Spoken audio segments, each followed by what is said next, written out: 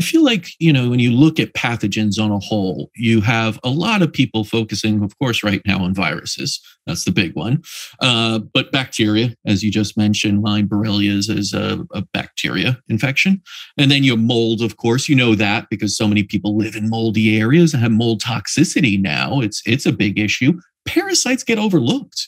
And the truth of the matter is, you could take stool samples and test them and you could miss them you could absolutely miss them. It isn't a foolproof type of test at all. And a lot of people have them. Like you said, in Lyme, it's co infectious disease always. Always, you're going to have extra friends around Borrelia. And a lot of the times, you're right, Giardia and other parasites show up there if you really know what you're looking for and you're a trained practitioner as well. Now, you mentioned you're going to have GI symptoms most likely. And those GI system symptoms may lead into things like brain fog and other. But I found it interesting to that you linked it also to the skin. Can you go in a little bit more about how parasites really do impact our skin and our look aesthetics and our aging process? Absolutely. Well, when I first started to clear parasites, and let's be totally transparent, it took me from about March last year to December last year. Mm-hmm. That's how long it took.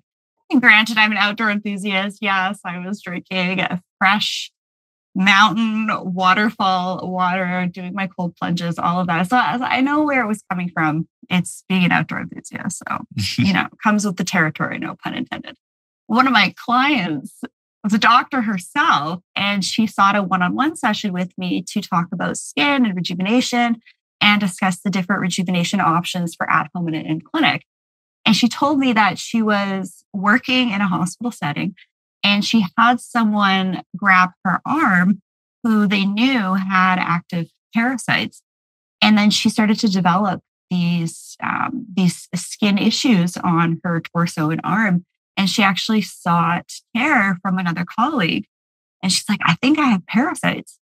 Hmm. And her colleague then wanted to refer her for a psychiatric assessment. So the last thing you want to do is show up to a practitioner and say, I think I have worms. Get the creepy crawlies underneath my skin. That's why it's really important to work with practitioners that really understand this and aren't going to go to the stigmatized route of, oh, it's just in third world countries. So it's really sad for me to see this in a physician going to another physician and saying, I think you need a psychiatric assessment. So that was one of the times that I really was clued into the fact that more attention needs to be uh, placed on this. Also, Morgellons disease is could very well be it's like skin irritation, acne type of looking pustules on the skin could easily be confused as acne or adult acne. And then someone's placed on Accutane or antibiotics and all these really topical, harsh topical creams when really they could have had better success if they did a parasite cleanse. Um, the other really interesting thing that I noticed myself was when I started to clear them, I actually had visual disturbances. So I was watching a movie and I was seeing flashes on my periphery, which tells me I had central nervous system, uh, likely cysts as well. So being a nurse myself, researching this stuff, I was really noticing absolutely everything. And then about a month after I started the cleanse, I felt like I had started popping limitless. The energy that I had was profound, the mental clarity. And the funny thing is, you clear the parasites, you clear the toxins, you look at your life completely differently because your brain is working better, which mm-hmm. then led me to completely transform and transition every aspect of my personal and professional life because I was seeing things more clearly and seeing how I can function in a way that's highest and best supports myself and others. I did very much like the benefits after clearing parasites on my nails. I just cut them recently.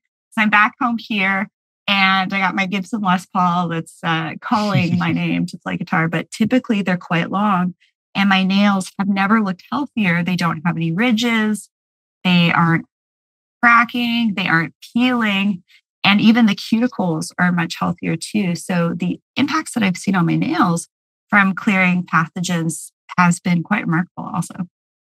That's amazing. I mean, the the improvements you could get from these things that you just don't think about. And so many people, you're right, suffer from this.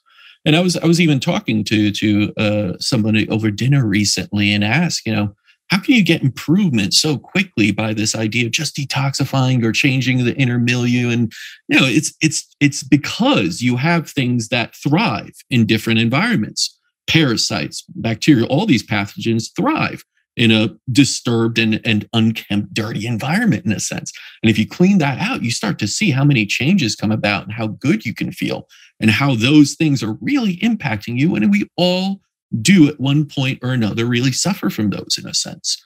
So you got to, you know, really be proactive with it. it. Sounds like you were, and you got, you know, such great results from it.